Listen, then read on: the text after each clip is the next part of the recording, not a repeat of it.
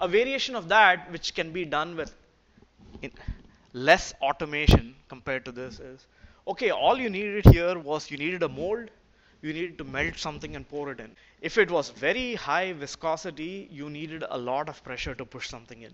But if instead of using a, a, high molecular weight polymer, right, which starts out at a high molecular, a high viscosity. If you use something like a paraffin wax, lower molecular weights or lower viscosity, so lower injection pressure, you can mix the powder with the wax, melt the wax, and just pour it into now a rubber mold.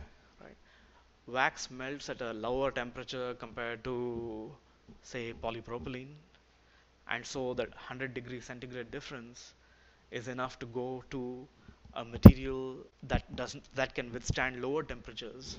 So a rubber mold as opposed to a metal mold okay so the mold so the mold can be made faster it can be made more expensively now the mold is not going to last long but if you need only a few of a kind you can make very intricate shapes without spend because what you can do is you pour uncured rubber, which is a liquid, low visc around the around the master part. This might be made in wax initially. Okay, you pour it around that and you solidify the rubber. Once the rubber is cured, you can cut it with a blade and you can take out the wax part. Now you have a very complex part like this with you can see there are holes going this way, there are holes going this way. And we said in die compaction that's a problem right? Also because the the viscosity is low you don't need much pressure. And so even though the rubber mold is soft it cannot handle a whole lot of abrasion because the pressure is low you can fill the mold cavity pretty easily. Because you can cut the rubber in any direction you want you can open it up and pull the part out. And if you just needed to make a dozen parts or something like that this is easy. So now instead of pouring wax, you can pour a mixture of wax and and and metal powder or ceramic powder and you can fill up the mold cavity. And you can create a lot of high surface detail and complexity. In this case, these are bronze parts. You take bronze powder, put it, and so do you know what is one method to create bronze sculptures? If this is bronze, right? To make bronze sculptures, what is a traditional way of doing that? Do you know? Okay, so what we do is we melt it, right? It's called it's called lost wax method. It has been around for 5,000 years. Okay, since the Bronze Age, people know to do something, some some variation of this. You make something out of wax, easy to carve, right? You build a mold around that with plaster you melt the wax out and now you replace that space that had the wax with molten metal and then you break open the plaster after it is done and you take out this and then you polish it up and you get something like that. Now in that case you will need one mold for each part. In this case you can use the reuse the molds. Also you have to heat it up to the melting point of the of the of the material. And so it is difficult to control surface detail because at those temperatures the material can react with the plaster it can react with the air and so on. And so your surface the amount of work that you have to put back into the surface is a lot higher. Okay. The other advantage is if you have bronze particles you can control the surface porosity. So now when you add chemicals on the top to change the color to apply a patina, right, and you can make it green or brown or yellow or black or anything, that surface porosity can absorb the chemicals more readily and you can get much more vivid colors. So this was the first business that I built about 15 years ago, trying to take ideas from a lab and uh, and do something with that to cater to the art market. We were very excited. We were engineers. How often do you get a chance to change the way things change something that has been around for 5,000 years? Right? And so we were pretty excited about that. Of course, we were engineers and scientists. We didn't know much about business. So the business failed. but we had we had something that was really nice.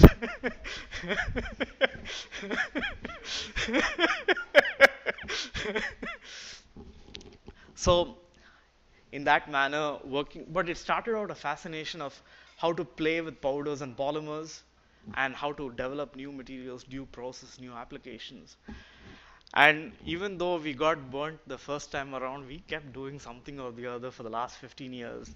And then finally last year one company that uh, licensed a patent using powder and polymers for portable kidney dialysis was uh, received 50 million dollars in private investment.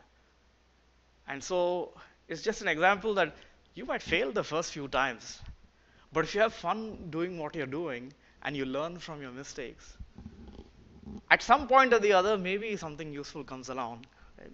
but the main thing is we were we didn't realize or care about how much money we were losing each time one part came out like that, we were like, oh, look at that, it's so nice, right?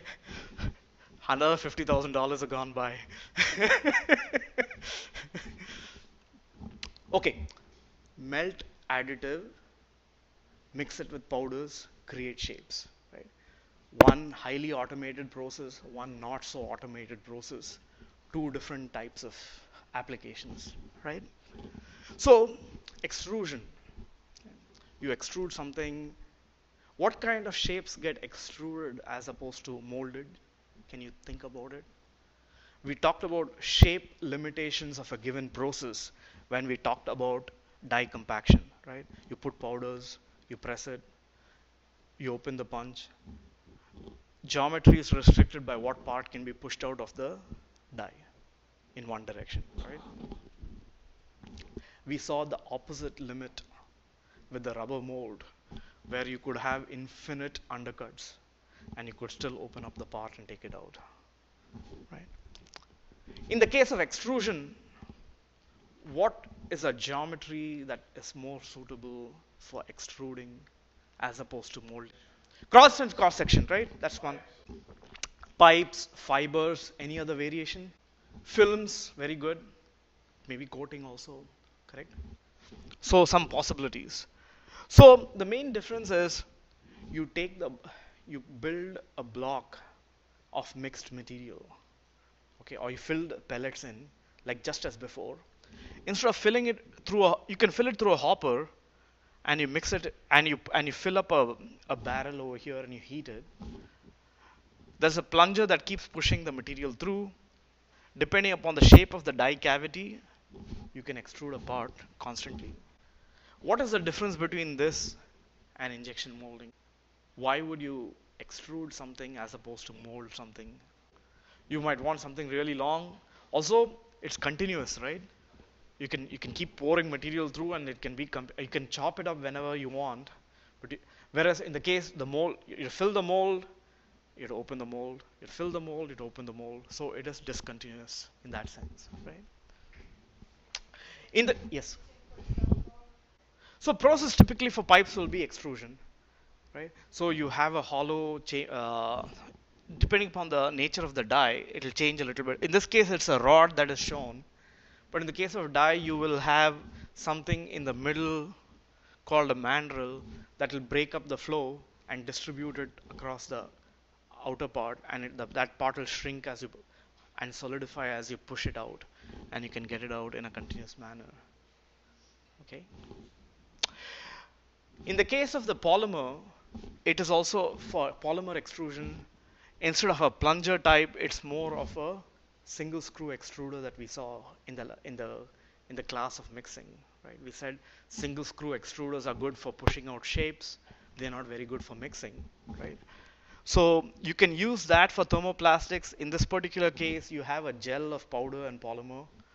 Typically, it's made of a material. The gel is made of a material called methyl cellulose okay it's like making jello right you you put some carbohydrate polymer into water and uh, into hot water and you cool it down in a mold and it sets right now instead you also add powder to it you can create a shape In this particular case, you heat the material and it sets as opposed to cooling the material and setting.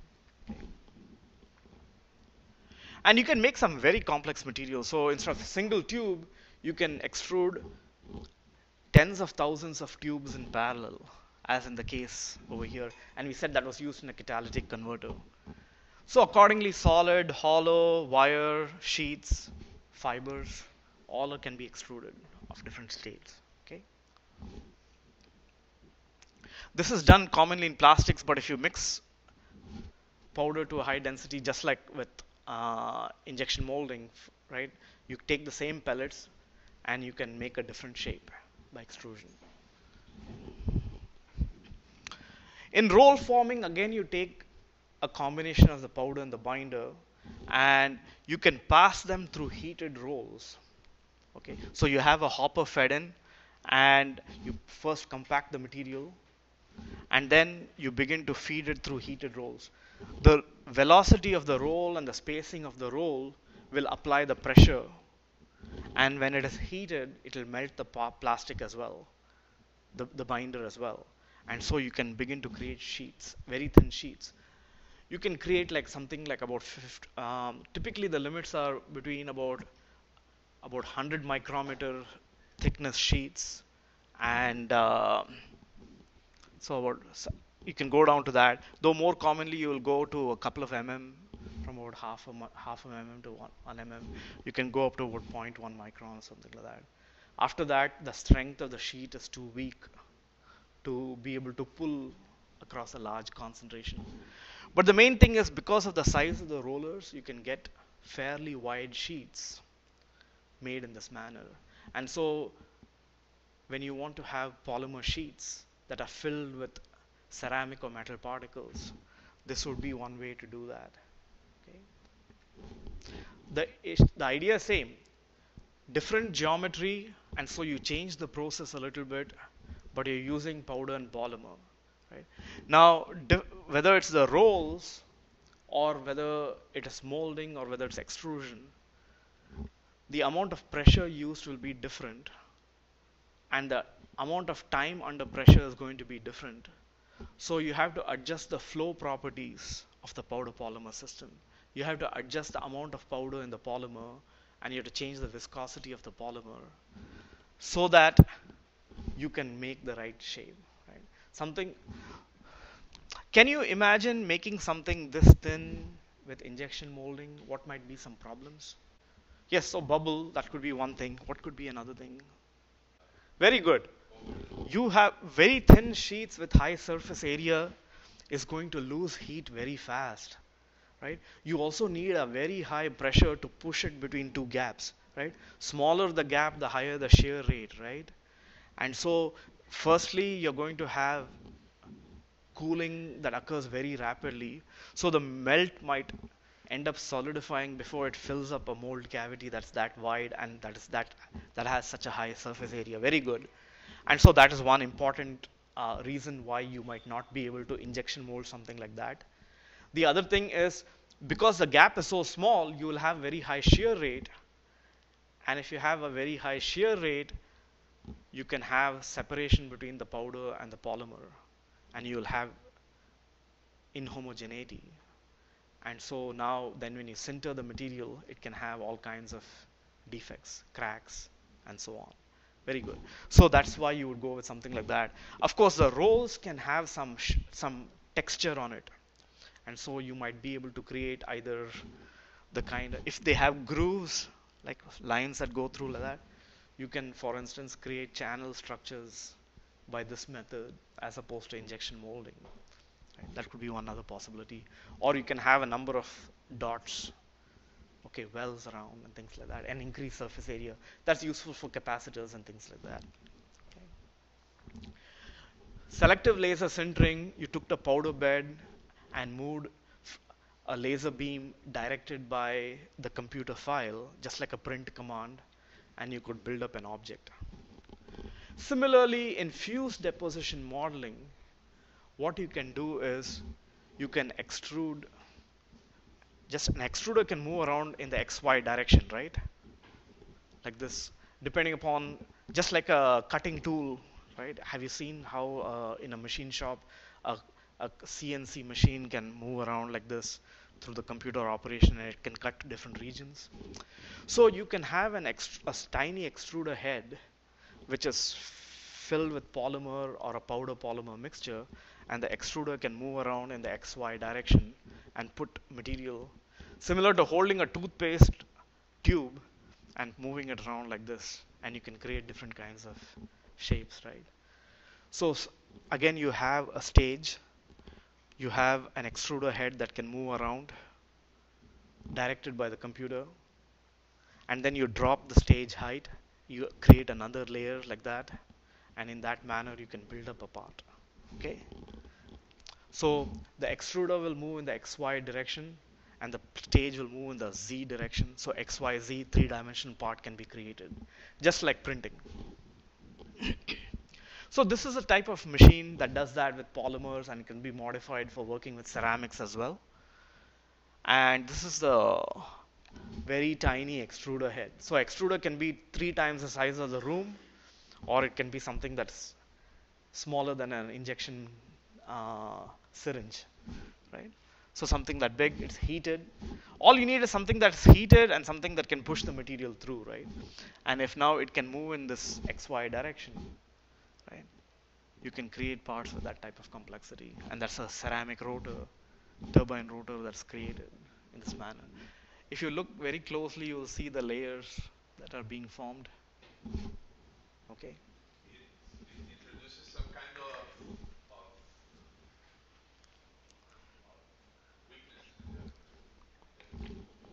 Yes, because what you're doing is each filament that is extruded of different lengths, right? They have to weld together.